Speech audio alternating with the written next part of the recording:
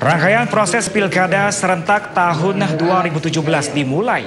Sejumlah partai politik sibuk melakukan komunikasi politik guna membentuk koalisi pemenangan calon kepala daerah khususnya untuk calon gubernur DKI Jakarta. Sekretaris Jenderal P3 Arsul Sani menyatakan partai berlambang Ka'bah menyepakati akan mengusung calon kuat Tri Risma hari ini menjadi calon gubernur DKI Jakarta. Meski demikian, P3 masih menunggu sikap politik PDI Perjuangan dalam menjadikan Risma sebagai calon DKI 1. Selain Risma, muncul nama Komisaris Jenderal Polisi Budi Waseso yang dipertimbangkan P3 juga digadang-gadang masuk di Bursa Pilkada DKI Jakarta. Arsul menambahkan sampai saat ini P3 masih melakukan lobby politik dengan petinggi partai besar yang tidak mendukung calon pertahanan seperti Partai Demokrat, PKB, PDIP, PKS, dan Gerindra.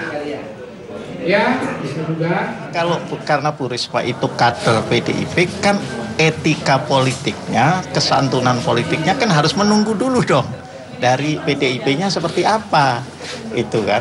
Nah, ada juga yang pilihannya yang lain. Nggak usah saya sebutkan fraksinya apa. Pilihan yang lain misalnya jelas eh, Pak Buas, itu Komjen Buas kemudian juga Pak Sandi itu pilihan-pilihan gitu ya. Hanya kalau Pak Sandi sebagaimana dijelaskan oleh teman-teman Gerindra posisinya tidak harus jadi